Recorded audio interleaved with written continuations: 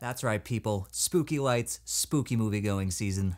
Let's continue this fun journey. Kenneth Branagh's Hercule Poirot is back to solve yet another case, this time in Venice and at Halloween. Perfect for spooky season.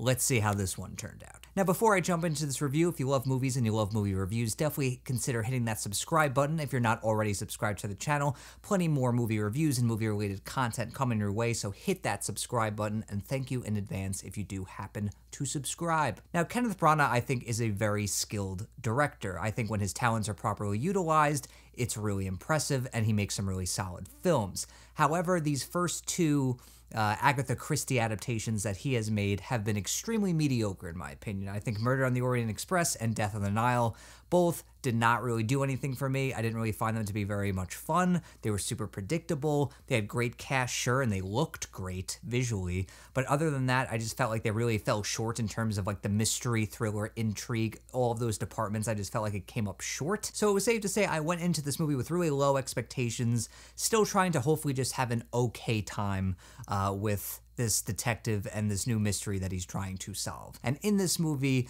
Poirot, he's in retirement. He doesn't really want to take on any new cases. And then this author from America, who's played by Tina Fey, she says, just come with me to this party. There's supposed to be some sort of seance.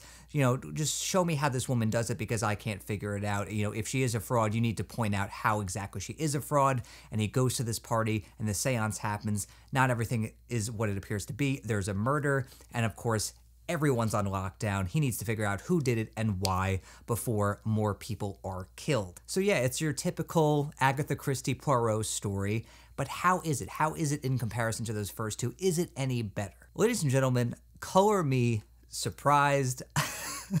I went into this movie with such low expectations, and I actually had a really good time with this. Like, where was this in the first two movies, Branagh? Where, where was this? This is a far different animal than those first two films. This is a movie that lives and breathes atmosphere. It actually has some visual panache, and it actually has a mystery that's worth getting invested in. Like, what? First off, I think this is Kenneth Branagh's best direction in quite some time. The first two films, it just felt like he was hindered. His his style, his typical visual flair, I just felt like it really wasn't on full display. I think he was too preoccupied trying to make everything look nice and you know trying to deal with these huge casts that he kind of forgot to direct movies in the style that I'm kind of used to seeing him direct. The return of Dutch angle Branagh is really back here, and there's a lot more visual flourishes here in terms of the camera work and the blocking and just the atmosphere that he's able to set up. I mean, this is a movie that I loved the atmosphere. The production design is fantastic. The feel and tone of the film is pitch perfect, especially for a movie that takes place during Halloween and in, in a very dark, flooded Venice. He absolutely nails the atmosphere and he takes full advantage of it. I mean, we, we stay in this palazzo in Venice that apparently is haunted by the spirits of these children. And he really plays into the fact that this palazzo kind of has a mind of its own and is basically this haunted house. And I really love the camera work in this movie. It's different. It feels fresh. It's so refreshing compared to the first two films that felt like they didn't really have much visual style at all. But this movie really feels like Branagh is behind the camera making creative choices, and I really love that. Also, Branagh's just great as Poirot. He was the highlight of the first two films. He kept those movies watchable. He carried those movies on his shoulders.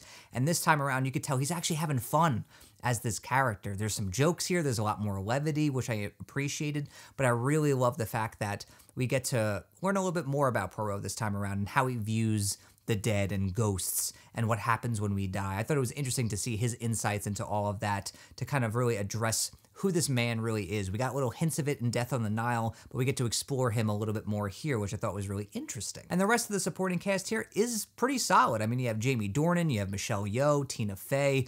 I mean, everyone in this cast does their job. They know the assignment, they understand it, uh, and no one's dialing it up too high, no one's dialing it down too low. Everyone here is playing their roles pretty perfectly. Their performances are definitely solid enough where you can buy any of them doing it. And that's always the best part of any sort of murder mystery where you feel like any of these characters could be capable of murder, even though this person might have an alibi or this person seems sympathetic and likable and, you know, uh, emotionally appealing. And I actually really dug the horror elements in this movie. I thought that uh, there's a lot of sequences where there's some great suspense, great tension. There's actually a couple jump scares in this in this movie that actually got me. I was I did not go into this movie thinking it was going to be a horror movie, and I'll, I'll say I jumped more in this movie than I did in The Nun too.